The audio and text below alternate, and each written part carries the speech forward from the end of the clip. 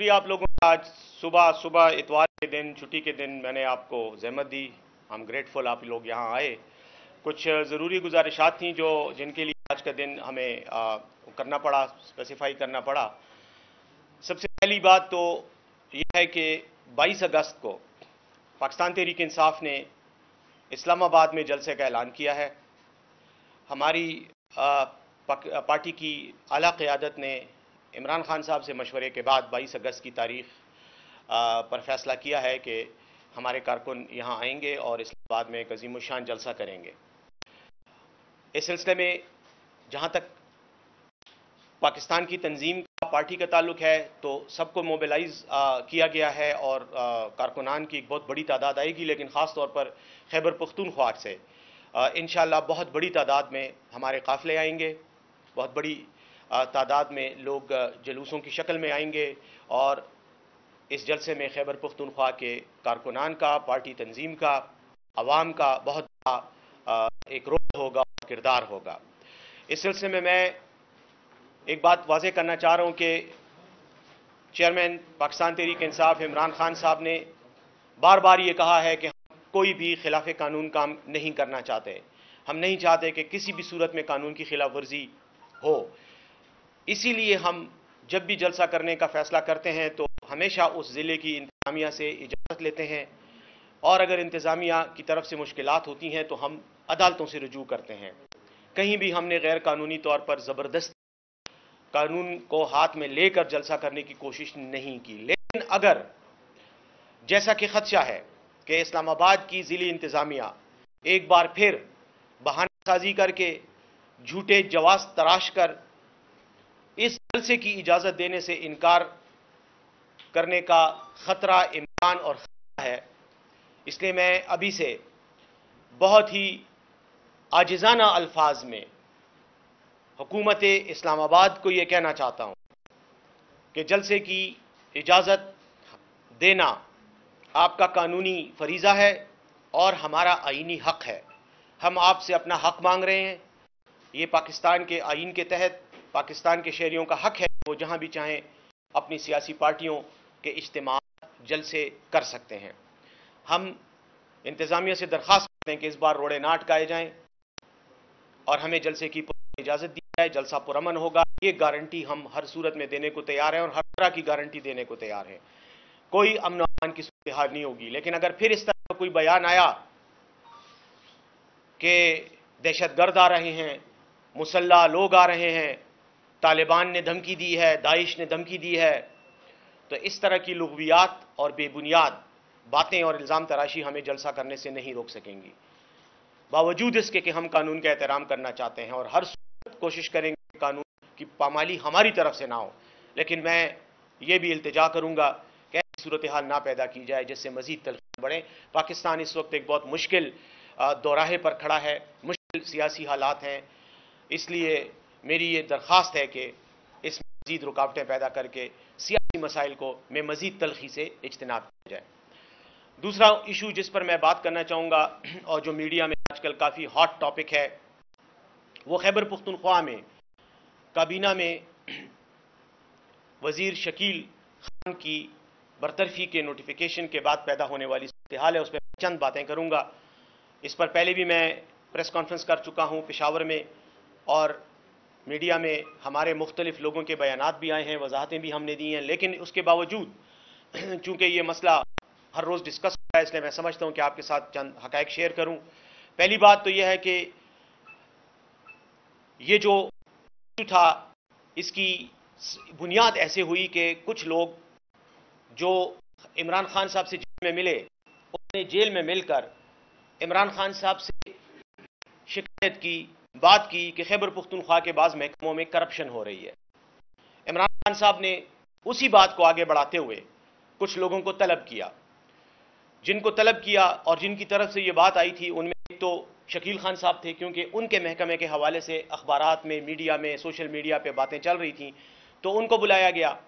ساتھ ہی عاطف خان صاحب تھے، اسد کیسر صاحب میرے خیال میں وہ بھی تھے اور شاید ایک دو اور لوگ تھے جن کے مجھے اس وقت نام ایگزیکٹلی یاد نہیں ہے۔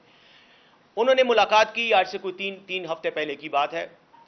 جب خان صاحب نے پوچھا اور بات ہوئی تو انہوں نے ان کو حکم دیا کہ آپ جائیں اور اس سلسلے میں خیبر پختونخوا میں آپ پریس کانفرنس کر کے میری طرف سے یہ پیغام دیں، تمام وزراء کو بھی اور تمام افسران کو بھی، اہلکاروں کو بھی۔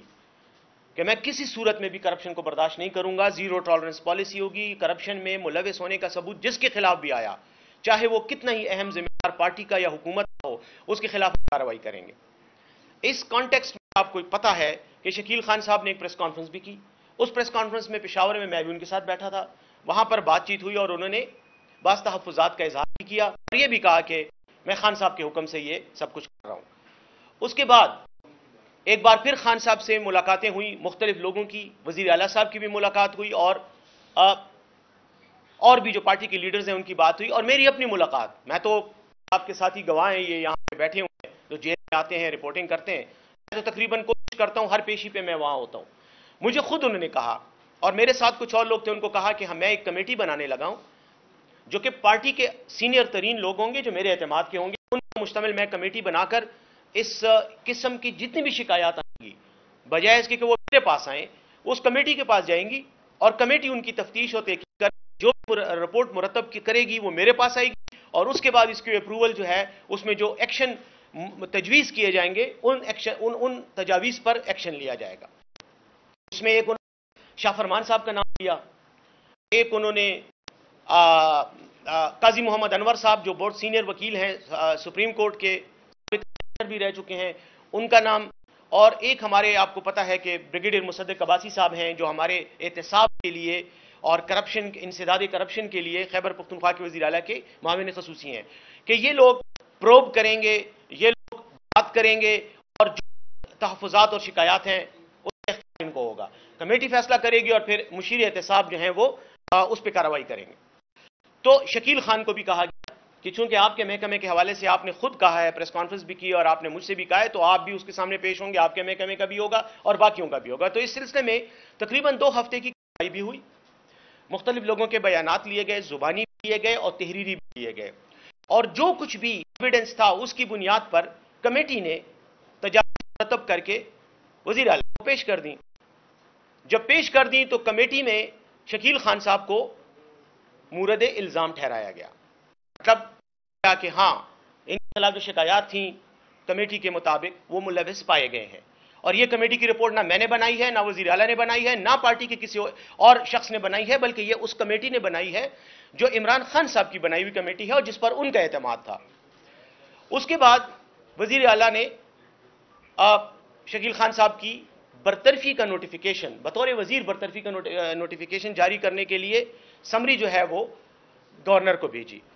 سمری جانے سمری پر گورنر کے سائن ہونے سے پہلے پہلے برطرفی ہو گئی، وہ انہوں نے سوری، استعفیٰ دے دیا وزیر نے خود ہی، تو بات ختم ہو گئی۔ اور بات یہاں ختم ہو جانی چاہیے تھی۔ اس سلسلے میں جو اور لوگ ملوث ہیں، ان کے خلاف بھی کارروائی، اگر سرکاری ملازمین ہیں، سیکٹری ہیں، کوئی اور سرکاری افسر ہے، ان کے خلاف جو کارروائی ہے، وہ بھی اسی میں لکھی گئی ہے اور اس پر کارروائی ہوگی۔ لیکن اس مسئلے نے کنٹروورسی پیدا کر دی اور ہمارے بعض رہنماؤں کی طرف سے میڈیا میں بیانات یعنی سوشل میڈیا پہ خاص طور پر بیانات آنے لگے جن سے یہ تاثر دیا گیا کہ شاید یہ واقعہ وزیر اعلیٰ کے کسی کے ساتھ ذاتی تنازع، اختلاف یا اناد کی وجہ سے پیش آیا ہے اور شاید شکیل خان کی برطرفی جو ہے یہ وزیر اعلیٰ کا ذاتی فیصلہ ہے۔ حالانکہ جو یہ لوگ بات کر رہے تھے، ان کو پتہ تھا اور پتہ نہ ہونے کی کوئی وجہ نہیں ہے۔ کیونکہ یہ باتیں میڈیا میں بھی آ چکی تھیں اور سب کو پتہ تھا کہ ایک انکوائری ہو رہی ہے کہ یہ انکوائری وہ کمیٹی کر رہی ہے۔ یہ وزیر اعلیٰ ذاتی حیثیت میں نہیں کر رہا۔ نہ وزیر اعلیٰ اس کمیٹی کا ممبر ہے۔ بہرحال جب یہ ساری کچھ ہوا اور یہ اعتراضات ہوئے تو اس میں آپ کو پتا ہے، عاطف خان صاحب جو ہمارے ممبر ہیں قومی اسمبلی کے، ان کی طرف سے ایک ٹویٹ آئی۔ اسی طرح جنید اکبر صاحب ہمارے ممبر ہیں قومی اسمبلی کے، ان کی طرف سے بھی ٹویٹ آئی۔ جس کے بعد کارکنان کی طرف سے اور ہمارے پارٹی کے جو سوشل میڈیا کے لڑکے ہیں، جو عموماً سوشل میڈیا پہ بہت متحرک ہوتے ہیں، ان کی طرف سے بھی ٹویٹس وغیرہ اور سوشل میڈیا پر ایک ایسا تاثر دیا گیا یا آیا کہ جیسے پارٹی کے اندر کوئی اختلاف ہے۔ اور شاید شکیل خان کسی ایک گروپ سے تعلق رکھتا ہے جس کو عاطف خان اور جنید اکبر صاحب جو ہیں وہ پروٹیکٹ کر رہے ہیں اور دوسری طرف سے شاید وزیر اعلیٰ ہیں اور وہ انہوں نے قصدن کوئی آپس میں، آپس کی چپ کلش کے نتیجے میں یہ سب کچھ ہوا۔ تو الزام تراشی ہوئی۔ اس الزام تراشی پر کل میری عمران خان صاحب سے میٹنگ ہوئی۔ میں کل جیل میں ان سے ملا۔ کافی دیر ان کے ساتھ رہا۔ وہاں پر اس میٹنگ میں خان صاحب نے مجھے اسپیسیفکلی کہا کہ مجھے بہت افسوس ہو رہا ہے کہ ہمارے اپنے ہی لوگ اپنی ہی پارٹی کے فیصلے کے خلاف میڈیا میں جا رہے ہیں۔ انہوں نے یہ کہا کہ اگر کسی شخص کو پارٹی کے کسی فیصلے پر اعتراض ہے، تحفظات ہیں، تو یہ کمیٹی میری ہی بنائی ہوئی کمیٹی ہے۔ یہ میرے ہی نامزد کردہ سینئر ترین رہنما ہیں جو میری رائے میں پاک اور صاف ہیں۔ اور ان پر مجھے اعتماد ہے۔ ان کو میں نے یہ کام کا کہا، انہوں نے یہ کام کیا۔ اب جو لوگ یہ تاثر دے رہے اعتراض دیکھیں، ہر پارٹی میں حق ہے کارکن کا وہ اعتراض کریں۔ لیکن ایک اعتراض ہے اور ایک باقاعدہ الزام تراشی ہے کہ جی یہ جو کچھ بھی ہوا، یہ بدنیتی پر ہوا یا کسی کو وزارت سے ہٹانے کے لیے ہوا، ذاتی دشمنی کی بنیاد پہ۔ تو یہ تاثر جو ہے، یہ غلط ہے اور یہ نہیں ہونا چاہیے۔ تو مجھے انہوں نے اسپیسیفکلی کہا کہ تم بطور مشیر اطلاعات، اور ایک بات اور بھی میں آپ کے آپ کے انفارمیشن کے لیے بتانا چاہ رہا ہوں۔ کہ میں خیبر پختونخوا کی وزیر کی حکومت کا وزیر مشیر اطلاعات بھی ہوں، لیکن میرے پاس پارٹی عہدہ بطور سیکٹری اطلاعات بھی ہے۔ تو یہ میری ہی ذمہ داری بنتی ہے کہ میں میڈیا کو فیس کروں اور میں میڈیا کے سامنے پارٹی کا موقف رکھوں۔ تو خان صاحب کی ہدایت کے مطابق آج میں آپ کے ساتھ بھی یہ بات شیئر کر رہا ہوں کہ خان صاحب نے اس بات پر ناراضگی کا اظہار کیا اور مجھے کہا کہ آپ یہ بات کلیئر کریں کہ اس کمیٹی کے فیصلے پر اعتراض کرنا یہ بالکل غلط بات ہے اور انہوں نے خود مجھے یہ کہا کہ میں عاطف خان صاحب کو بلاؤں، ان کو کہوں کہ وہ آئیں گے اور میرے ساتھ ملیں گے اور جو ہمارے ایک ساتھی جو جیل میں ان کی ملاقاتوں کا وہ ارینج کرتے ہیں، ان کو کہا کہ آپ عاطف خان کو بھی بلائیں۔ انہوں نے اسد کیسر صاحب کا بھی نام لیا کہ ان کو بھی بلائیں۔ اور کہہ رہے اور بریگیڈیئر عباسی صاحب کا بھی کہا کہ میں ان سے بھی ملوں گا۔ اور کمیٹی کے جو دیگر افراد ہیں، جن میں قاضی محمد انور صاحب چونکہ وکیل ہیں، اس لیے وہ تاریخوں پر آ سکتے ہیں، تو ان کی منگل کو امید ہے کہ ملاقات ہوگی خان صاحب سے اور وہ کہہ رہے تھے کہ میں خود ان سے یہ بات کروں گا کہ یہ جو سچویشن ہے، اس کو آپ لوگ اس طرح سے ہینڈل کریں۔ بہرحال مجھے انہوں نے یہ کہا کہ آپ بریگیڈیئر مصدق عباسی صاحب کو کہیں کہ وہ دلیری کے ساتھ کھڑے رہیں، ڈٹ کر کھڑے رہیں اور جو ذمہ داری میں نے ان کو دی ہے بغیر کسی خطرے اور پریشر کے وہ ادا کرتے رہیں۔ یہ تمام وہ باتیں ہیں، اس لیے میں درخواست کروں گا آپ کی وساطت سے، اپنے کارکنان کو جو مجھے سنیں گے کہ خدا کے لیے یہ پارٹی کے لیڈر کا فیصلہ ہے اور پارٹی کے ایک طریقہ کار کے تحت یہ فیصلہ لیا گیا ہے۔ اس پر آپ یہ تاثر نہ دیں کہ جیسے کوئی گروپ بندی ہے۔ گروپ بندی کوئی نہیں ہے۔ وزیر اعلیٰ خیبر پختونخوا خود سے وزیر اعلیٰ نہیں بنے۔ ان کو کسی اور نے نہیں بلکہ عمران خان صاحب نے نامزد کیا اور قومی صوبائی اسمبلی نے ان کی توثیق کی، ان کو ووٹ دیا۔ کیسے ہو سکتا ہے کہ وزیر اعلیٰ پارٹی مفاد کے خلاف کام کرے؟ کیسے ہو سکتا ہے کہ کوئی اور شخص پارٹی مفاد کے خلاف کام کرے؟ ہاں البتہ غلطیاں ہو سکتی ہیں۔ میں بھی غلطی کر سکتا ہوں، کوئی اور ممبر بھی، حکومتی عہدیدار بھی کر سکتا ہے۔ لیکن اس کا یہ مطلب ہرگز ہرگز ہرگز نہیں ہے کہ کوئی پارٹی کا مخالف ہے یا پارٹی کو استعمال کر کے یا عہدے کو استعمال کر کے اپنے ذاتی مقاصد کے لیے کام کر رہے ہیں۔ ہاں کارکنان سے میری یہ درخواست ہے کہ اگر آپ کو وزیر اعلیٰ کے خلاف کوئی شکایت ہے، کسی اور وزیر کے خلاف شکایت ہے، اگر عاطف خان صاحب کو یا کسی اور ساتھی کو، جنید اکبر صاحب کو اگر کوئی شکایت ہے، تو آپ آئیں۔ اور یہ کمیٹی موجود ہے، پشاور میں یہ تینوں ممبران رہتے ہیں وہاں ان کے دفاتر ہیں۔ آپ جائیں اور وہ تحفظات کمیٹی کے سامنے پیش کریں۔ یا کسی کے خلاف اگر آپ کے پاس کوئی ثبوت اور شواہد ہیں، وہاں جا کر پیش کریں۔ اس بات پہ میں یہ بات ختم کرتا ہوں کہ پارٹی میں کے اندر کسی قسم کا اختلاف نہیں ہے۔ سب لوگ متحد ہیں۔ اس طرح کے سچویشن آتی رہتی ہے اور پارٹی کے اندر یہ صلاحیت موجود ہے کہ وہ اپنے مسائل کو خود حل کرے۔ یہ ہمارے گھر کا مسئلہ ہے، یہ ہماری پارٹی کا مسئلہ ہے۔ ہم اس مسئلے کو بہت اچھے طریقے سے حل کر سکتے ہیں۔ صرف یہ ہے کہ یہ جو سوشل میڈیا میں ایک وبال ہے اس کو ختم ہونا چاہیے، کیونکہ اس کی وجہ سے تلخیاں اور غلط فہمیاں، یہ مزید بڑھتی جا رہی ہیں، جس سے مسئلہ حل نہیں ہوگا، بلکہ مسئلہ خرابی کی طرف جائے گا۔ اس بات کو اینڈ کرتے ہوئے آخر میں میں صرف ایک بات یہ کہنا چاہ رہا ہوں کہ خیبر پختونخوا کے ساتھ حزب معمول، حزب عادت، ظلم اور زیادتی کا سلسلہ جاری ہے۔ آپ میڈیا کے بھائیوں نے ہماری آواز ہمیشہ اٹھائی ہے۔ ایک بار پھر میں آپ کے سامنے ہی اپنی آواز ایک بار پھر اٹھا رہا ہوں۔ دیکھیں آج تک ہمیں ہمارے بقایا جات میں سے ایک روپیہ نہیں ملا۔ نہیں دیا جا رہا۔ سولہ سو روپے ہمارے بجلی کی مد میں بقایا جات ہیں۔ ہمارے یہ اربوں روپے بنتے ہیں۔ ہمیں پانی کی مد میں ہمارے اربوں کے بقایا جات مرکز کی طرف ہیں۔ اس کے علاوہ باقی تو چھوڑیں۔ ظلم کی یہ انتہا دیکھیں کہ آج پاکستان کا سینٹ مکمل طور پر فنکشنل کام کر رہا ہے۔ سینٹ میں اگر نمائندگی نہیں ہے کسی صوبے کی تو وہ خیبر پختونخوا کا بدقسمت صوبہ ہے۔ ہمارے صوبے میں آج تک نہ سینٹ کا جو کورم ہے، صوبہ کا، صوبے کا کورم، وہ پورا نہیں ہوا، کیونکہ وہاں الیکشن ہی نہیں ہوئے۔ کیوں نہیں ہوئے؟ اس لیے کہ چیف الیکشن کمشنر صاحب کو تکلیف ہے کہ وہ خیبر پختونخوا میں پی ٹی آئی کی ریزرو سیٹیں اور مرکز میں بھی پی ٹی آئی کی ریزرو سیٹوں پر وہ فیصلہ نہیں، جو سپریم کورٹ کا فیصلہ ہے، وہ اس کو نہیں کرنا چاہتے۔ اور یہ جو جیلی حکومت ہے، ان کو بھی یہ پرابلم ہے کہ یہ بھی سپریم کورٹ کے فیصلے پر عمل درآمد نہیں کرنا چاہ رہے۔ تو ایک ہبڑ دبڑ میں ایک جلدی میں قانون سازی کی کوشش کی گئی۔ جو قانون نہیں ہے بلکہ قانون کے ساتھ مذاق کرنے کی کوشش کی گئی، تاکہ ریزرو سیٹوں کا راستہ روکا جا سکے۔ جس کی وجہ سے خیبر پختونخوا میں کورم ہی پورا نہیں ہے، جو الیکشن الیکٹورل کالج ہی پورا نہیں ہے، جو سینٹ کا الیکشن کروا سکے۔ یہ کہنے کا میرا مقصد یہ ہے کہ یہ زیادتی ہے، یہ آئین کے تحت بھی غلط ہے۔ اور بدقسمتی کی بات کہ وہی سینٹ جو انکمپلیٹ ہے، جس میں خیبر پختونخوا کی نمائندگی مکمل نہیں ہے، اسی سینٹ کے انکمپلیٹ سینٹ نے الیکشن کر کے صدر آصف زرداری کو پاکستان کا صدر بھی منتخب کرا دیا ہے۔ تو یہ کس قسم کا مذاق ہو رہا ہے جمہوریت اور آئین کے ساتھ؟ دوسری بات آخر میں میں یہ کہنا چاہوں گا کہ سپریم کورٹ آف پاکستان جو عدلیہ کے لیے سب سے بڑا اونچا اعلی ادارہ ہے، با اختیار اور مقتدر ادارہ ہے، وہاں کی حالت یہ ہے کہ خیبر پختونخوا کے ججز جن کی ریپرزنٹیشن صوبے کی ہونی چاہیے سپریم کورٹ میں، وہ بھی مکمل نہیں ہے۔ آج بھی ہمارے ججوں کی مطلوبہ تعداد پوری نہیں ہے۔ اور بدنیتی اور تعصب کا حال یہ ہے کہ اس پر کوئی شنوائی بھی نہیں ہو رہی۔ نہ صدر پاکستان کو کوئی احساس ہے، نہ وزیر اعظم صاحب کو کوئی احساس ہے کہ یہ سیٹیں فل ہونی چاہیے اور سپریم کورٹ کا کورم پورا ہونا چاہیے۔ ایک صوبے کے کیسے آپ انکمپلیٹ سپریم کورٹ کو آپ کیسے جو ہے وہ چلا رہے ہیں؟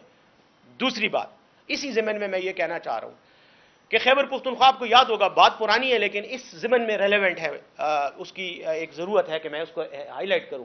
جسٹس ابراہیم صاحب، جو ہمارے چیف جسٹس تھے، خیبر پختونخوا کے، ان کی جب ریٹائرمنٹ کا ٹائم آیا، تو اصولی طور پر وہ سینئر تھے۔ اور ان کا حق بنتا تھا کہ ان کو سپریم کورٹ کا جج بنایا جاتا۔ ہمارے صوبے کی نمائندگی وہاں ہوتی سپریم کورٹ میں۔ ان کو ایلیویٹ ہونا چاہیے تھا۔ لیکن بعض لوگوں کو ان کے چند فیصلوں پر اعتراض تھا، ناراضگی تھی اور خوف تھا کہ یہ آئیں گے تو یہاں پر یہ پھر آزاد منش حیثیت میں، ایک آزاد منش جج کی حیثیت سے یہ فیصلے کریں گے۔ وہ خوف تھا، اس کی وجہ سے ان کو ایلیویٹ نہیں کیا گیا۔ تو اس طرح کی جو حرکتیں ہیں، یہ تمام ہمیں خیبر پختونخوا میں ان کی وجہ سے ایک بد اعتمادی کا جواز فراہم کرتی ہیں۔ جبکہ دوسری طرف دوسری طرف حالت یہ ہے، ہمیں تو سولہ سو ارب روپے نہیں مل رہے۔ لیکن میاں نواز شریف صاحب جو صرف جھوٹ موٹ کے جیتے ہوئے ایک ایم این اے ہیں، جن کا اگر آج بھی فارم 45 کا اور فارم 47 کا ان کے حلقے کا موازنہ کیا جائے تو وہ بدترین شکست کھا چکے ہیں۔ لیکن لیکن ان کو جتوایا گیا ہے فارم 47 کے ذریعے۔ وہ بیٹھ کر اپنی صاحبزادی کے ساتھ پریس کانفرنس کرتے ہیں۔ اس پریس کانفرنس میں وہ اعلان کرتے ہیں کہ میں بجلی کی قیمت کم کر رہا ہوں۔ جس کا کئی ارب روپے جو ہے وہ اس کی امپلیکیشنز ہیں۔ کئی ارب روپے کی جو ہے، قیمت کی بجلی ہے، وہ پنجاب میں فری کر رہے ہیں۔ اچھا پہلی بات تو یہ ہے کہ یہ آپ کے پاس یہ اختیار کیسے آیا؟ آپ تو ایک ایم این اے ہیں، وہ بھی جیلی۔ اگر الیکشن کمیشن کا ضمیر جاگ جائے یا عدالتوں میں کوئی آزاد فیصلے ہونے لگ جائیں، تو میں یہ سمجھتا ہوں کہ میاں نواز شریف صاحب گھر بیٹھے ہوں گے۔ لیکن بلکہ گھر کیا؟ جیل میں ہونا چاہیے تھا۔ کیونکہ جو ان پر کرپشن کے الزامات ہیں، لیکن وہ آج بیٹھ کر بجلی کی قیمت کم کر رہے ہیں۔ مطلب یہ مذاق نہیں ہے اس ملک کے ساتھ۔ بجلی کی قیمت آپ کیسے کم کر سکتے ہو؟ کیسے اعلان کر سکتے ہو؟ اور وہ بھی میڈیا کے سامنے آ کر نہیں، جہاں پر آپ لوگوں کو موقع ملتا، آپ ان کے سوالات کرتے اور ان سے یہ پوچھتے۔ گھر میں بیٹھ کر ویڈیو بنا کر صاحبزادی کے ساتھ ایک خبر چلا دی۔ مطلب اس طرح کے آمرانہ فیصلے، اس طرح کے بچگانہ اور مزاحیہ فیصلے تو وہ بنانا ریپبلکس میں ہی ہوتے ہیں۔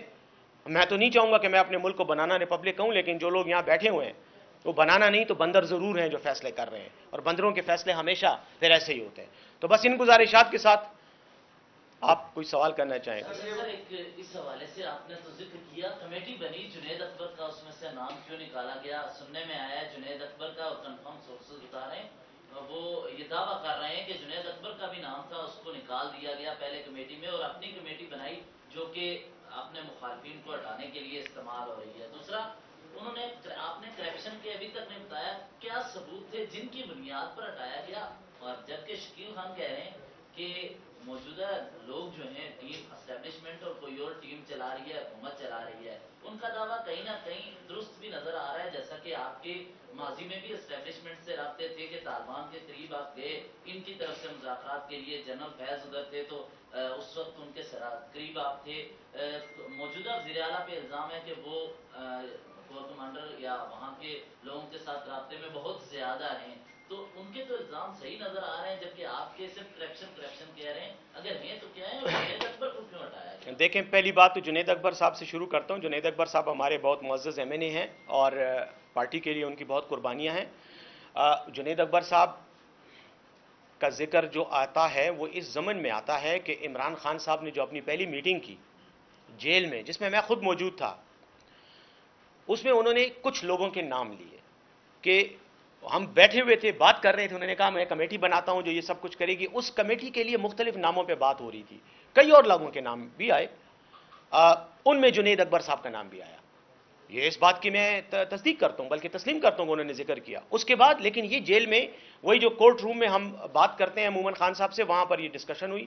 اس میں جنید اکبر صاحب کے علاوہ یہ نام جن، جو فائنل ہوئے اور کچھ ایک دو اور نام بھی تھے۔ اس کے بعد خان صاحب نے کہا کہ یہ نام ہے، میں ان پر کمیٹی بناتا ہوں، لیکن ظاہر کمیٹی صرف زبانی کہنے سے تو نہیں بنتی نا، اس کے لیے ایک باقاعدہ پروسیجر بھی کیا جاتا ہے۔ اس کے بعد خان صاحب نے ان میں سے باقی ناموں کو ہٹا کر صرف تین لوگوں کا کہا، بلکہ تین بھی نہیں ہے۔ اگر آپ دیکھیں تو دو لوگ ہیں ایکچولی کیونکہ جو مشیر احتساب ہے، عباسی صاحب، وہ تو ویسے ہی ذمہ دار ہیں، حکومتی ذمہ دار ہیں، معاون خصوصی ہیں وزیر اعلیٰ کے، تو ان کا تو کام ہی یہی ہے۔ وہ بطور معاون خصوصی اس کمیٹی کے ممبر ہیں، باقی دو لوگوں کو صرف۔ ایک قاضی انور صاحب کو، قاضی انور صاحب وہاں بیٹھے ہوئے تھے جس وقت یہ ڈسکشن ہوئی۔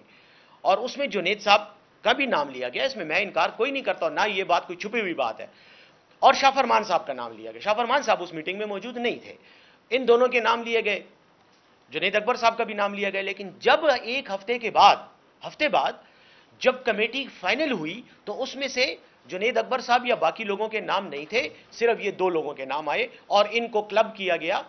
عباسی صاحب کے ساتھ کہ یہ تینوں مل کر کسی بھی کیس کی تفتیش کریں گے یا پروسیڈنگز کریں گے۔ ایک تو یہ بات میں کلیئر کر دوں۔ اور دیکھیں، میں پھر ایک بات ریپیٹ کرتے ہوئے کہہ رہا ہوں کہ عمران خان صاحب پارٹی کے قائد ہیں۔ انہی کا فیصلہ جو ہے وہ فیصلہ ہوتا ہے جس پر عمل کیا جاتا ہے۔ ان کی مرضی ہے وہ کہیں کہ جی یہ سب لوگ جو یہاں بیٹھے ہیں، ان کی کمیٹی ہے۔ دو دن کے بعد جب وہ اس پہ پریکٹیکلی نوٹیفائی کرتے ہیں، اس وقت وہ کہتے ہیں کہ نہیں یار، یہ دو لوگ ادھر سے لوں گا، دو ادھر سے لوں گا، باقی ان کو نہیں لوں گا۔ تو یہ ان کا فیصلہ ہے۔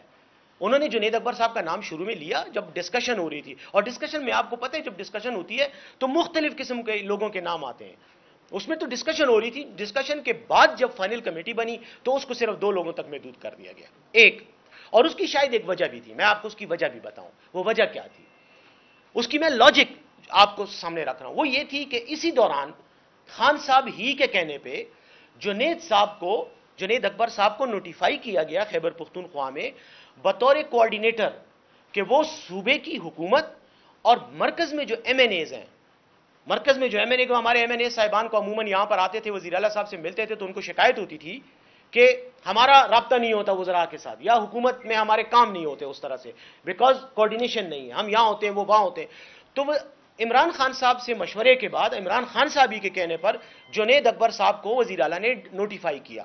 بطور کوارڈینیٹر بٹوین مرکز اینڈ صوبائی حکومت۔ ایک تو یہ بات تھی، اس لیے ان کو جو ہے وہ کیا گیا کیا کہتے ہیں یعنی اس کمیٹی سے ہٹایا گیا کیونکہ پھر یہ ڈول رول ہوتا ہے۔ دیکھیں، کمیٹی میں جب آپ بیٹھتے ہیں تو پھر آپ کے پاس اور کوئی ذمہ داری نہیں ہونی چاہیے۔ یہ ایک بڑی بیسک سی بات ہے۔ کیونکہ اگر میں وزیر بھی ہوں میں مشیر بھی ہوں اور میں اس کمیٹی کا ممبر ہوں جس میں ہو سکتا ہے کہ کل میری خلاف انکوائری آ جائے، میری محکمے کے بارے میں شکایت آ جائے کہ جی آپ نے فلاں جگہ میں کرپشن کی ہے، یا میں ایم این اے ہوں اور میرے ہی پولیس کے خلاف کوئی شکایت آ جائے۔ تو اس سلسلے میں پھر یہ فیصلہ کیا گیا کہ جو بھی کمیٹی کے ممبران ہوں گے، وہ کسی عہدے پر نہیں ہوں گے، نہ پارٹی عہدے پہ ہوں گے، نہ وہ کیا کہتے ہیں، کسی سرکاری عہدے پہ نہیں ہوں گے یا آئینی عہدے پہ نہیں ہوں گے۔ پارٹی عہدے پہ ہو سکتے ہیں۔ تو یہ کمیٹی بنائی گئی۔ یہ میری آپ کو اس کی وضاحت ہے۔ اس اس میں یہ نہیں تھا کہ جنید اکبر صاحب کے ساتھ کوئی خاص مخاصمت تھی، اس لیے ان کو ہٹایا گیا۔ نہیں، اگر خان صاحب آج بھی کہیں کہ کمیٹی میں ان کو ڈالو ان کو پھر ڈال دیا جائے گا۔ لیکن لاجک اس کی یہ تھی۔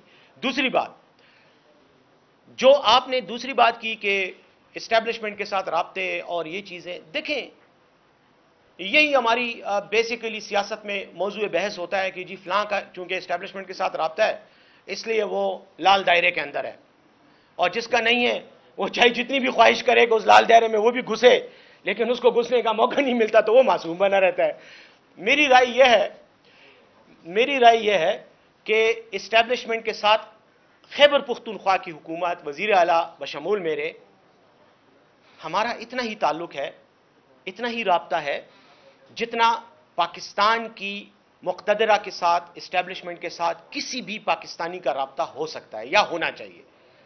اور وہ ایسے کہ ظاہر ہے ہم ایک ایسی صوبے کی حکومت کا حصہ ہیں جہاں دہشت گردی کے خلاف جنگ ہو رہی ہے، جو ہمارا ایک فرنٹ لائن صوبہ ہے in the war against terror تو آف کورس وہاں پر فوج ہی جو ہے وہ فرنٹ لائن پہ ڈیفینڈ کر رہی ہے، پاکستان کی سرحدوں کو بھی اور دہشت گردی کے خلاف جنگ میں فوج ہی انوالو ہے۔ اب اگر میں فوج کے ادارے کے ساتھ کٹی کر کے بیٹھ جاؤں کہ میں نے تو آپ کے ساتھ بولنا نہیں ہے، میں ناراض ہوں، تو میں یہ حکومت کیسے چلاؤں گا؟ یہ معاملات کیسے طے کروں گا؟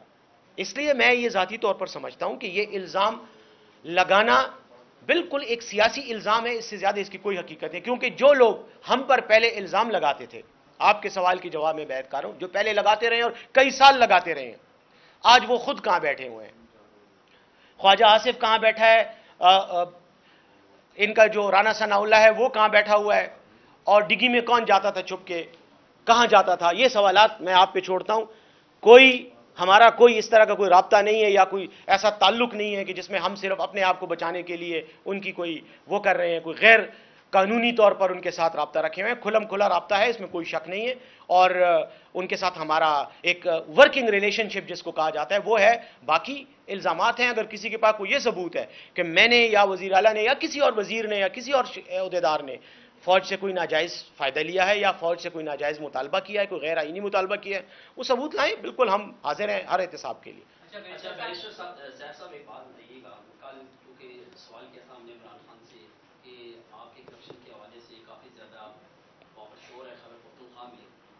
تو انہوں نے یہ کہا تھا کہ عاطف خان اور جنید خان یہ دونوں تمام شوائد جو ہوتے ہیں کمیٹی کے سامنے رکھے ان کو پھر میں سنوں گا، پھر ان کو بلاؤں گا۔ پہلا تو سوال یہ۔ دوسرا یہ بتائیے گا کہ آپ مصدق عباسی صاحب کا بتا رہے ہیں کہ وہ اس کمیٹی کو لیڈ کر رہے ہیں۔ ان کے اپنے پاس ایک حکومتی عہدہ بھی ہے۔ اسد کیسر صاحب کا یہ کہنا ہے کہ جب ان کے پاس اپنا ایک حکومتی عہدہ ہے، تو جو عاطف خان اور اس کے ساتھ جنید خان اور ان کے ساتھ شکیل خان، ان کی جو خیبر پختونخوا کے وزیر کے ساتھ لڑائی ہے، اس فیصلے کے اوپر یہ اثر انداز ہو سکتے ہیں۔ تو آپ کو لگتا نہیں اگر یہ انکوائری کر رہے ہیں، تو سب سے پہلے انہیں معاون خصوصی کے عہدے سے جی بہت اچھا سوال کیا اور میں مشکور ہوں آپ کا کہ آپ نے خود یہ بات کر دی کہ خان صاحب نے میڈیا کے سامنے کل یہ بات کی ہے۔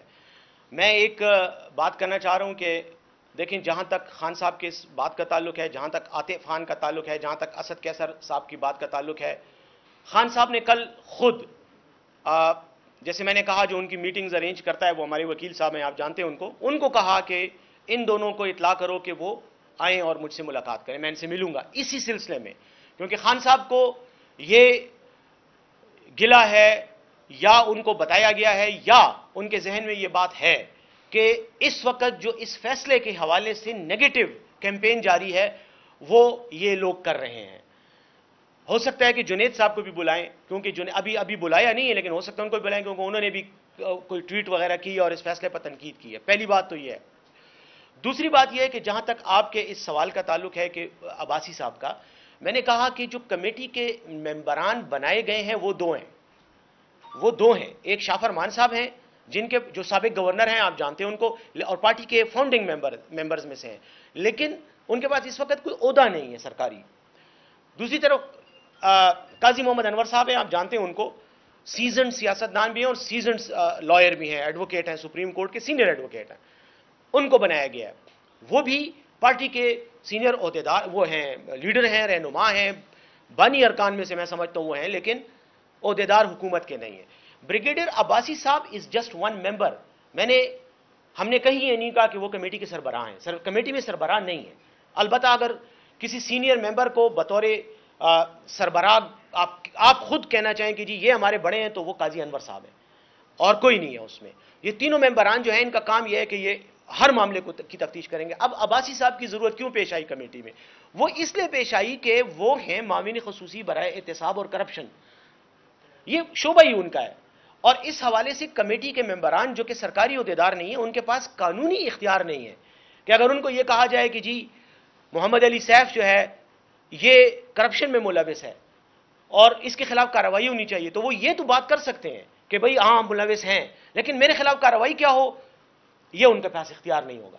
تو اس لیے عباسی صاحب کو ڈالا گیا کیونکہ وہ اس شعبے سے ہی تعلق رکھتے ہیں، ان کی ذمہ داری بھی یہی ہے، تو اس لیے ان کو ممبر بنایا گیا کہ وہ ان کے ساتھ جو بھی بات ان کے سامنے تفتیش اور حقائق آئیں گے، ان پر جو ایکشن لینا ہے، وہ ان کے دفتر کے ذریعے لیا جائے گا۔ یہ یہ یہ اس کی وضاحت تھی بس، میں نے اس اس حد تک کر دی۔ خان صاحب کو بڑا سخت کہ جو کمیٹی بنائی گئی اس نے جو شواہد سامنے اس بنا پر جو ہے اس کو ہٹانے کا فیصلہ کیا گیا شکیل خان کو، تو کیا سی وزارت سے ہٹانا ہی ایک آخری فیصلہ ہے یا کوئی اور کوئی فیصلہ کیا جائے گا قانونی کارروائی کی جگہ اتنے پکے ثبوت ہیں آپ کے پاس ان کو وزارت سے ہٹانے کا فیصلہ ہو جی جی۔ دیکھیں میں اس سلسلے میں ایک مزید وضاحت کرتے ہوئے آپ کے سوال کا جواب اس میں میں دوں گا۔ وہ وضاحت یہ کرنی ہے کہ کمیٹی کا جو فیصلہ ہے، جو ان کی رپورٹ ہے، وہ صرف اور صرف کمیٹی نے دیکھی ہے اور وزیر اعلیٰ صاحب نے دیکھی ہے۔ نہ میں نے دیکھی ہے، نہ میرے خان میں پارٹی کے کسی اور کارکن کے پاس ہے۔ اب اس میں ایگزیکٹلی کیا ثبوت جو ہیں وہ دیے گئے ہیں کہ جن کی وجہ سے یہ فیصلہ کیا گیا اور ایگزیکٹلی اس میں کیا ریکمنڈیشنز ہیں کہ کوئی بھی جو ملوث پایا جائے گا، اس کے خلاف ایکشن کیا ہوگا، وہ میرے علم میں اس وقت نہیں ہے۔ لیکن اس کمیٹی کی رپورٹ ضرور کی جائے گی پبلک کی جائے گی۔ اور دوسرا یہ ہے کہ اس کو آپ کے ساتھ شیئر کیا جائے گا۔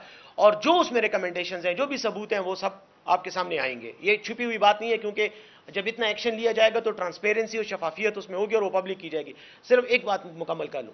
یہ جو آپ کا دوسرا سوال ہے کہ باقیوں کے خلاف ایکشن یار، جو بھی ایکشن ہوگا، قانون کے مطابق ہوگا۔ لیکن قانون کے مطابق پہلا ایکشن یہی تھا نا کہ اگر میں یہاں کرسی پر بطور وزیر یا مشیر بیٹھا ہوں اور میرے اوپر یہ الزام ہے کہ میں نے کرپشن کیا تو سب سے پہلے تو تقاضا یہ ہے کہ مجھے اس کرسی سے اٹھا کے وہاں بیٹھایا جائے۔ اگر میں خود نہیں اٹھتا تو مجھے ڈی نوٹیفائی کیا جائے اور اگر میں خود ریزائن کر کے وہاں بیٹھ جاتا ہوں تو بہت اچھی بات ہے۔ اس کے بعد نیکسٹ سٹیپ میں کاروائی اس میں میں نے آپ کو بتایا، جب سرکاری اداروں میں کرپشن ہوتی تو صرف وزیر تو انوالو نہیں ہوتا نا۔ اگر وزیر کے خلاف ثبوت ہیں، وہ انوالو ہوگا۔ اگر وزیر کے خلاف نہیں ہے، سرکاری اہلکار ہیں افسر ہیں، ان کے خلاف بھی ہوگا۔ ان کے خلاف پھر آپ کو پتہ ہے، قانون کا اپنا ایک طریقہ کار ہے۔ تو وہ سارا پروسیس فالو کیا جائے گا۔ لیکن ابھی تو پہلے سٹیپ میں یہ بات چونکہ میڈیا میں آ گئی اور ہم نہ کرتے میڈیا میں یہ بات۔ یہ میڈیا میں بات بیسیکلی شکیل خان صاحب نے جب ریزائن دیا تو وہ میڈیا میں انہوں نے دے دیا سوشل میڈیا پہ آ گیا رات کو تین بجے مجھے مختلف ٹی وی چینل سے ٹیلی فون آئے کہ جی یہ کیا ہو گیا؟ اس کی وجہ سے یہ چیز پبلک ہو گئی۔ یار ایک ایک ریکویسٹ کرتا ہوں۔ وہ صاحب یار بڑی شرافت سے ہاتھ اٹھا کے ان کا حق بنتا ہے کافی دیر سے۔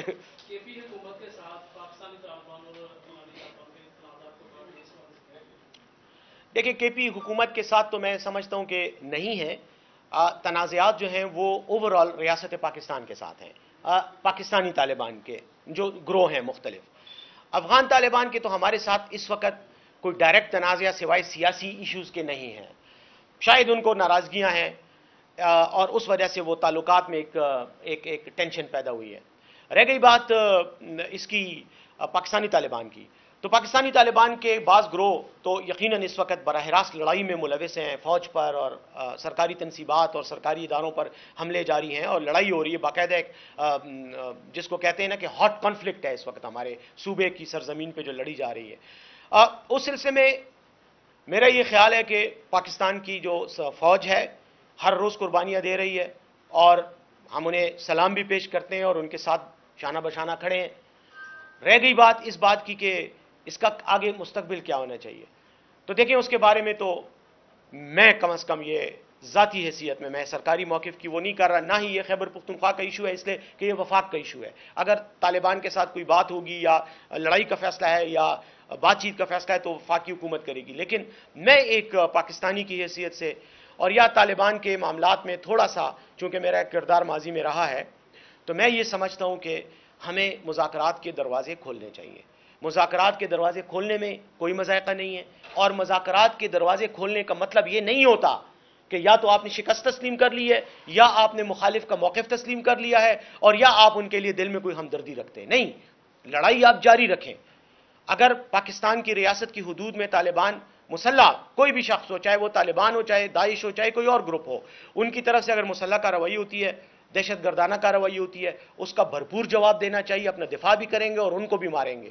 لیکن ساتھ ہی ساتھ اگر بات چیت بھی چل رہی ہے، تو کوئی نقصان نہیں ہے۔ ہو سکتا ہے کہ کوئی ایسا حل نکل آئے، جس کے ذریعے ہم ہاسٹیلٹیز سے آگے بڑھ کر ایک اچھے طریقے سے معاملے کو ختم کر سکیں، اپنی جو ہماری انسانی جانوں کا جو نقصان ہو رہا ہے، املاک کا نقصان ہو رہا ہے، اور قوم کی پوری توجہ ایک ایسے مسئلے میں الجھی ہوئی ہے جس کا کوئی نیٹ آؤٹ پٹ نہیں ہے۔ قوم کو کوئی فائدہ نہیں ہے۔ تو میرے خیال میں جنگ ختم ہونی چاہیے۔ اس کے لیے اگر ہماری طرف سے پیش رفت ہو سکتی ہے یعنی حکومت کی طرف سے، تو میں تو کہوں گا یہ جو سوئے ہوئے لوگ ہیں، فارم فورٹی سیون والے، کہ اور تو تمہاری عاقبت بھی خراب ہے، دنیا بھی ذلیل ہے۔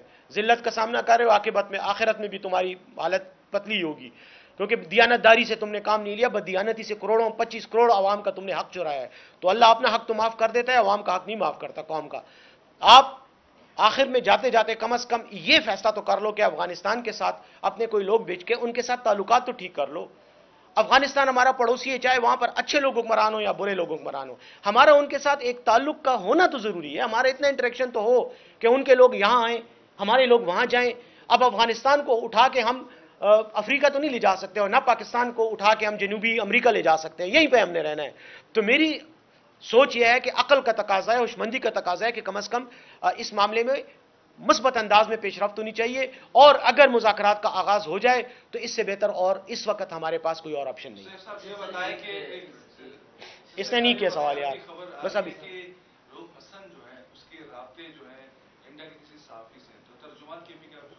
انڈین صحافی سے۔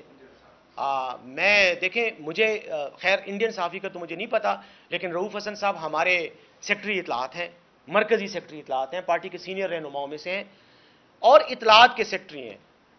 تو انڈین ہو، امریکی ہو، روسی ہو، جرمن ہو، صحافی ہے نا، کوئی راک ایجنٹ تو نہیں ہے۔ اس کے ساتھ رابطے کرنے میں کیا ہوا ہے؟ اگر میں خود آپ کو بتاتا ہوں، تسلیم کرتا ہوں یہ تمام کیمروں کے آگے پوری قوم کے سامنے۔ مجھے خود انڈیا سے ٹیلی فون آتے ہیں زیرو نائن ون کے نمبر سے کہ جی ہم وہ وہ کون سا ان کا ہے وہ بڑے بدتمیز ہے جو ایک صحافی ہے، اس کے ساتھ میری کئی بار وہ ایک وہی جو ہے ہاں وہ جو بہت تیز بولتا ہے۔ کئی بار اس نے مجھے پروگرام میں لیا، میں اس کے پروگرام میں آیا، وہ ایک ان کا وہ جرنیل ہے، وہ ریٹائرڈ، وہ بڑی بڑی لمبی مونچھوں والا جو ہے، بیوقوف سا ہے، وہ پتہ نہیں کیا نام ہے اس کا۔ اس کے ساتھ تو میرے کئی بار ٹاکرے بھی ہو چکے ہیں، بدتمیزی کر رہا تھا، پھر میں نے بھی اس کو رگڑا۔ تو کہنے کا مقصد یہ کہ ہمارے تو سب کے رابطے ہیں انڈین صحافیوں کے ساتھ۔ کون سی بڑی بات ہے، ہمیں فون کرتے ہیں، ہم سے موقف لیتے ہیں کہ جی یہ ہوا، آپ کا کیا موقف ہے؟ بعض اوقات ٹی وی چینلز پہ بلاتے ہیں۔ ہم ٹی وی چینلز پہ جائیں یا نہ جائیں اور بات ہے۔ میں نے تو اب جانا چھوڑ دیا کیونکہ بدتمیزی کرتے تھے۔ اور بات کو کاٹتے ہیں۔ آپ کا، آپ کو موقف صحیح طریقے سے پیش نہیں کرنے دیتے۔ لیکن جاتا رہا ریکارڈڈ ہے۔ تو اس لیے روف حسن صاحب پر یہ الزام لگانا میرے خیال میں ایک بہت بھونڈا الزام ہے۔ اور دوسری بات یہ، اگر الزام کسی پہ لگانا ہے، تو میاں نواز شریف صاحب پہ لگائیں جنہوں نے اپنے گھر میں دعوتیں دی تھیں۔ بغیر سرکاری پراپر پروسیجر کے لوگوں کو ویزے جاری کی، اپنی شوگر ملوں میں ان کو نوکریاں دی تنخواہیں دیں، ان سے پوچھ گچھ کی جائے، اس کے بعد روس حسن صاحب بھی اپنی وضاحت کر لیں گے۔ ہاں جی۔ سر، میرے لیے بڑی تشویشناک صورتحال سامنے آئی اور سخت سخت آپ نے تو تیس منٹ کی کانفرنس کی ہے لیکن جس وقت ایک سوال ہوا کہ کرپشن کے ثبوت کیا ہے آپ نے ہاں۔ کہا کہ میں نے تو دیکھے ہی نہیں۔ یعنی آپ نے کرپشن کے ثبوت نہیں دیکھے وزیر اعلیٰ تو صرف علم ہے یا کمیٹی کا ہے لیکن آپ نے شکیل خان کو کرپٹ قرار دے دیا اس کو خراب قرار دے دیا اس کے ڈیفینڈ کرنے والوں کو غلط بیانی کرنے کا مرتکب جیسا قرار دے دیا۔ تو یعنی آپ نے ثبوت بھی نہیں دیکھے اتنے الزامات کیسے لگا دیے؟ جی۔ نہیں، میں نے یہ نہیں کہا کہ میں نے ثبوت نہیں دیکھے۔ اگر آپ میرے الفاظ کو یاد کریں، ری وہ کریں، کال کریں، میں نے کہا میں نے رپورٹ نہیں دیکھی۔ رپورٹ نہیں دیکھی۔ رپورٹ جو کمیٹی نے مرتب کر کے وزیر اعلیٰ کو دی ہے، وہ صرف کمیٹی کے ممبران نے دیکھی ہے، ظاہر انہوں نے بنائی ہے اور وزیر اعلیٰ نے پڑھی ہے۔ اس پہ اسی لیے ڈی نوٹیفیکیشن کا ایکشن ہوا۔ ثبوت میں نے دیکھے ہیں۔ ٹھیک ہے، ثبوت میں نے دیکھے ہیں۔ اور شکیل خان صاحب نے بھی دیکھے ہیں۔ اور شکیل خان صاحب اور میں نے ایک ہی جگہ بیٹھ کے دیکھے ہیں۔ ٹھیک ہے اب میں اس سے زیادہ اور بات اس لیے نہیں کروں گا کہ کمیٹی کا کی ثوابدید کمیٹی کی ہے نا۔ دیکھیں نا، اب آپ ایک چینل کو ریپرزینٹ کر رہے ہیں، تو ثوابدید چینل کی ہے کہ وہ اب یہ آپ کا سوال چلائے یا نہ چلائے۔ لیکن آپ نے سوال کیا، میں نے جواب دے دیا۔ اسی طرح چونکہ وہ کمیٹی بائی اختیار ہے، تو کمیٹی، اور میں نے کہا آپ کو، کمیٹی ان قریب، میری میری میری اپنی میرا اپنا خیال یہ ہے کہ نیکسٹ ویک وہ اپنی رپورٹ پبلک کریں گے، کیونکہ وہ پہلے عمران خان صاحب کو دکھائیں گے۔ اور میں نے کہا جو کمیٹی کے سینئر بزرگ رہنما ہیں قاضی انور صاحب، وہ ٹیوزڈے کو ملاقات کر رہے ہیں خان صاحب کے ساتھ، وہاں وہ بات کریں گے، وہ ان سے اجازت لیں گے۔ ساتھ میں ایک اور بھی بتاؤں، مصدق عباسی صاحب آئے تھے، کمیٹی کی رپورٹ جب بنی، وہ خان صاحب کے پاس آئے تھے یہی کرنے کے لیے۔ لیکن اگر آپ وہاں پہ آپ کے ساتھ بیٹھے ہوئے آپ کے دوست ان سے پوچھ سکتے اس دن وہ آئے، وہ گیٹ پہ کھڑے رہے، تین چار گھنٹے انہوں نے انتظار کیا۔ ان کا نام بھی ملاقاتیوں کی لسٹ میں تھا، لیکن ان کو خان صاحب سے ملاقات نہیں کرنے دی گئی۔ اب چونکہ خان صاحب جیل میں ہیں، اس لیے وہ ظاہر ہے اتنی کھل کر، اتنی ایز کے ساتھ ہم نہیں جا سکتے۔ میں خود بطور وکیل جاتے ہوئے، آپ کو پتہ ہے، یار، آپ جیل میں ہمیں ملتے رہتے ہیں، سارا دن ہم گیٹ پہ آپ کے ساتھ ہی کھڑے رہتے ہیں اور اندر بھی جانے کا کیا طریقہ ہوتا ہے۔ اس لیے ان وجہ، ان وجوہات کی بنا پہ خان صاحب کے ساتھ ابھی وہ رپورٹ اس طرح سے شیئر نہیں ہوئی اور نہ یہ رپورٹ کاغذ کوئی اندر لے جانے دیتے ہیں۔ میری تو جیبوں کی ایسی تلاشی لیتے ہیں جیسے میں نے جیب میں کوئی ہیروئن کی پڑیا کہیں پہ ٹھوسی ہوئی اور وہ جا کے کسی کو دینے جگہ۔ اتنی سخت تلاشی ہوتی ہے۔ یار، یہ ٹائی کا جو ناٹ ہوتا ہے، آپ یقین کریں، یہ بھی کھول کے جو ہے، اس کو بھی چیک کرتے ہیں کہ یہ ناٹ کے اندر تو کوئی چیز نہیں چھپی ہوئی۔ اور تو چھوڑے میری ٹائی کا ایک پن تھا۔ وہ مجھے کسی نے گفٹ کیا ہوا تھا۔ وہ بدبختی سے میں نے وہ لگا لیا۔ وہاں گیا، کہتے ہیں، یار، یہ تو ہم آپ کو نہیں اندر جانا۔ میں نے کہا، یار، ٹائی کا پن ہے، اس کو دیکھ لو، اس میں کدھر کو نہ کیمرہ ہے، نہ اس میں کوئی ریکارڈنگ ہے۔ نہیں نہیں جی یہ ہم ادھر رکھیں گے۔ وہ ادھر رکھ دیے، جب میں واپسی پایا، وہ پینی کو اٹھا کے لے گیا۔ تو ہمارے ساتھ یہ حرکتیں ہوتی ہیں۔ تو رپورٹ کیسے ہم اندر لے کے جائیں؟ لیکن بہرحال جب یہ لوگ ملیں گے، تو عباسی صاحب بھی اور قاضی انور صاحب بھی۔ تو براہ راست ان کو یہ خود بتائیں گے، اجازت ان کی لینی ضروری ہے، کیونکہ وہ پارٹی کے چیئرمین ہے کہ اب ہم اس کو پبلک کریں گے۔ تو وہ کریں گے، جنہوں نے رپورٹ بنائی ہے، مجھے بھی آپ ان کے ساتھ بیٹھا ہوا دیکھا پائیں گے، کیونکہ میری ذمہ داری ایسی ہے۔ اور اسی ذمہ داری کی وجہ آخری بات کرتے ہوئے میں بات ختم کر رہا ہوں کہ سوشل میڈیا پر وزیر اعلیٰ کو اتنی گالیاں نہیں پڑ رہی جتنی مجھے پڑھ رہی ہیں، کیونکہ میں میڈیا پہ آپ کے ساتھ بات کرتا ہوں تو لگتا ہی ہے کارکنان کو جیسے شاید اس ساری گیم کے پیچھے میں ہوں۔ حالانکہ وہ میرا کام جو ہے وہ میسنجر کا ہے اور انگریزی کا آپ کو پتہ ہے، محاورہ ہے کہ ڈونٹ کل دا میسنجر جو پیغام رساں ہوتا ہے اس کو نہ مارا کر اس کا قصور نہیں ہوتا، وہ کسی کا پیغام لے کے آیا ہوتا ہے۔ تو بہرحال ان با، ان گزارشات کے ساتھ میں آپ کا مشکور ہوں، آپ کا ٹائم لیا۔ اور ریکویسٹ ہے کہ یار، یہ چلا بھی دینا اپنے ٹی وی چینل والوں کو۔ کہنا، یہ نہ ہو گیا چلیں، بہت اچھی بات ہے۔ یار، وہ عثمہ بخاری اور مریم کو تو بھول ہی گیا یار۔ ان کے بارے میں صرف دو الفاظ آپ کو کہنا چاہ رہا ہوں کہ ہماری راج کماری صاحبہ جو ہیں، آپ کو پتہ ہے، اخبارات میں، یہ میں خود نہیں کہہ رہا۔ یہ میں آپ ہی کے ساتھیوں کی، میڈیا کے لوگوں کی باتیں بتا رہا ہوں کہ پنجاب میں کامرس کالجز بند ہو گئے ہیں۔ پنجاب کے سرکاری اسکول جو ہیں، وہ نجی شعبے کے حوالے کر دیے گئے ہیں۔ پنجاب میں دو ارب روپے کی لاگت سے صرف انتیس گھر بنائے جا رہے ہیں سرکاری افسران کی خاطر، رہائی، اعلیٰ سرکاری افسران کے لیے۔